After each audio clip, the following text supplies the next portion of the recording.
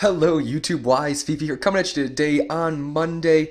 It is the end of getting close to the end of January. Sorry that I haven't uploaded in I think four or five days, but that is because I'm in Milan. I finally got settled. Was just trying to make some friends and get situated in the new city. I like it a lot. Originally, wasn't sure how it was going to go in Milan, but after seeing a lot of the places, the downtown area, everything like that, and my university, it is gonna be a great four months. So I'm here for four months. Unfortunately, no Xbox. So now you guys are gonna be seeing a lot of trading oriented videos, which I'm really excited to bring that to you. I can do all the squad builder challenges too. And I mean, now it's time I'm gonna do start doing some experiments with the market, see what's working. And so next year I can start implementing that and you guys can start implementing that early and making a ton of coins. So right now it's just been past the Lunar New Year, which has given us all packs. I have a recording of the pack that I pulled, and honestly, I didn't get a player over 83. It was it was a bad one. It was a joke. But I, I got the squad builder challenge done, the Lunar New Year one, so I'm gonna store this in the club. Unfortunately, you do need loyalty for that. I could show you the team. Uh, if you guys want to know, I, the team that I used to do it is I'll put it on Twitter. So go ahead and look at that. But just going to give you a small little update in the club so far. The marquee matchups last week turned out to be a little rough. That is because EA is starting to do some stupid stuff when they try to predict these matchups or not predict, implement these matchups. It's really stupid. And I'm not a big fan of what they've been doing because there were some clear rivalries that should have been featured and had set and they had set a precedence for it and now they're com- changing completely and a lot of people think that's due because of this type of stuff where people are predicting what they're going to do and so now they're trying to go off board but then we're getting into the transfer list i've been trading a ton of mbembas what a great way a good player to trade i've been trading a couple of these you see here a little low like that 16 and that 15 were a little bit low but that's because i picked them up for like 1075 and Two weeks ago, I had invested heavily in Fulham players, so now I'm able to get those off my squad. And you see here, I got a couple more Mbembas to sell. He's going for around 18,000 right now, so I'm actually going to list him up a little bit higher because I have a couple that I have some really nice chemistry styles on. And I really think that people, I mean, he's got 80 pace. He got just in a nice position, and I'm just showing you guys some of the couple of the other players I got going here. But the, a lot of those players are just backed up from the marquee matchups because you know I'm usually I usually get two to three a week. I mean, I, out of like the six I predict or seven I predict. So I think that's a pretty good rate, especially because the ones that like the other players right there, if I sold them overnight, if I just kept listing them for their min, buy now, oh, I would still make profit or only lose like hundreds of coins on a lot of like 100 coins on a lot of players. But back to what I was talking about. So it's going to try to keep this video kind of short, but I did do the Lunar New Year uh, Squad Builder Challenge. So we get this all rare gold pack and hopefully it's better than the other one. Like I said, I got crap on the other one. I'm sorry. Most of this stuff is going to be done on the web app. And let me know what you guys think. If there's any series ideas you want to see, I'm down to make it. Oh, Sule, I thought that that could have been a Tony Kroos at first. We get some good players. We get that Leroy Sané, which will sell for a lot. And I think I'm gonna have to start. I'm gonna start listing up my squad fitness cards. Make sure you guys list those up on uh, late Thursday nights or Friday mornings and that's American time. Oh crap, I'm on a different time now. Now I do most of my trading and whatnot.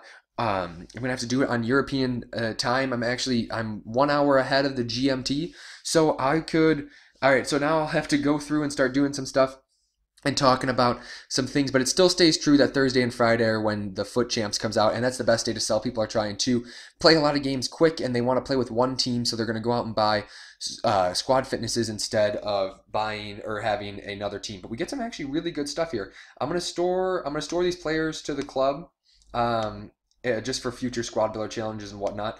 But then I am going to put Sane on the transfer list. I'm going to put a lot of this stuff on the transfer list because I don't need it anymore. So now I'm just going to be starting to rack up a lot of coins. I'm going to keep the contracts because I do feel like I will come back to FIFA when in the summer or when I get back. I get back June 1st, so that's where it looks like I will have to the time I'll pick it back up. Hopefully they're still doing FUT Champs. I know that's kind of towards the end of FIFA, but at the same time, it is what it is. Ah, damn, I meant to send that to the trade pile. I'll get it later. We get a nice loan pack there. I'm fine with that. And then, I mean, I'm sure this guy, that guy would sell if I tried, but I'm just going to quick sell him to bring it on. So I'm going to open up a couple other packs here and just give you guys um, kind of an outlook. I'm looking to do. I'm going to keep up the marquee matchups next I'm going to keep up the marquee matchups next week. I'm going to do this as a uh, squad, as a Sunday. Uh, Sunday half and half, just even though it's Monday, gonna do it as a Sunday half and half. That's hilarious. That Sportiello is the player we get. I love Fiorentina. That's my favorite Italian soccer team, even though I am in Milan. I know, kind of rough, right? I'm gonna send him to the club, and I had just bought that other Sportiello, so I will put him in the transfer list. I'm just gonna quick sell the rest of this stuff, and maybe I'll check out that kit real quick. I don't. It's got a cool little design on it, but it's gonna get quick sold. I'm gonna open up a couple more one other stuff. So now I can. So some trade tips that I have is, are not is my bad are that to go ahead and invest in some of these man of the matches when they first come out, pick them up for low, and there's definitely some price discrepancy in them. I mean, Mbemba is a great target if you guys want to trade with him to make some coins. That he is, he has been working wonders for me. I can pick him up for less than 13k, and you can sell him out in that 18k range. Nothing beats that. But Ooh, Kevin Gameiro, not a bad pull, but I mean, you know, you would like to see a little bit more. Lallana, he might get a squad builder challenge for him being the England Player of the Year, so look out for that. That might be a great uh, investment in some of those players. Of course, the pl- the new Player of the Month should be coming out relatively soon, so be on the lookout for that too. I'm going to I'm going to send him to the club, or yeah, I'm going to send him to the club as well as I'm just going to send majority of the stuff to the club. I'll get it at a later date, and then I'm going to uh, just gonna send him to the transfer list, and then Demayo, I'm going to send. I'm gonna send him to the club actually. Ah, never mind. I'm just gonna quick sell him. But I'm gonna try to do some vlogs coming up soon. Uh, yeah, I'm gonna maybe do some walking stuff around Milan, the Duomo area downtown, and the Navigli area along the canals are beautiful places. Definitely might be conducive to getting you guys just some footage of Milan. It's a beautiful city in its in, in its areas and we get Viviano. I'm getting all these Italian players. That is fitting because I am in Italy. Oh wow, those are some five players in a pack. You can never complain. Gonna keep them.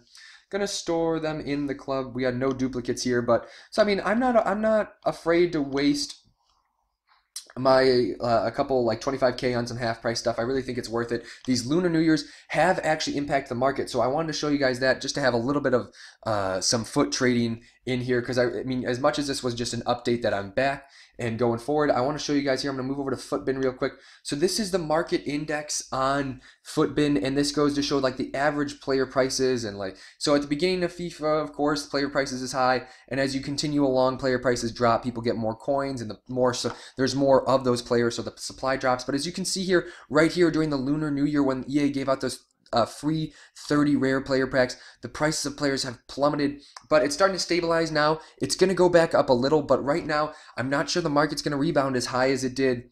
And you see how this has gone up gradually, gradually, but now it's going to go down, and it's going to be similar to that gradual impact. So the market is not probably going to get up into that 50 uh, region unless they start doing some squad builder challenges where they require a lot of high rated players so that they get taken off the market so that the supply is less. But it's at that point in FIFA where player prices are going to continue to kind of steadily go down, and that is evident in this right here. This is the special card, so that means your legends and your informs and your man of the matches and whatnot. The player prices here are dropping significant like not that's a big that's a big dip uh, i didn't want to say significant but it is really significant and that also just goes to show that player prices across the board are going to be uh, cheaper, but informs you definitely going to have to worry about if you had a lot of investments. I mean, don't get me wrong, you can still invest in some aspects of the inform, but your medium in like your medium inform that don't really have winter upgrade potential or aren't really highly sought after for a weekend league or have a lot of substitute players that you can pick up.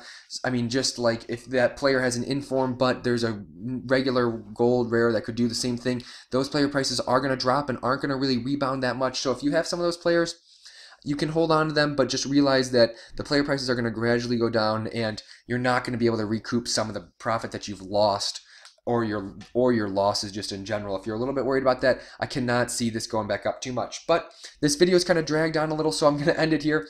Let me know what you guys think of this kind of format. It's all I got so far at this point. I'm going to try to get some more face cams in, but make sure you like and subscribe. Leave any suggestions or advice in the comment section below. Follow me on Facebook and Twitter. Those links are in the description. Really happy to be back in Milan. Really excited for the next four months to come. But most importantly, stay wise.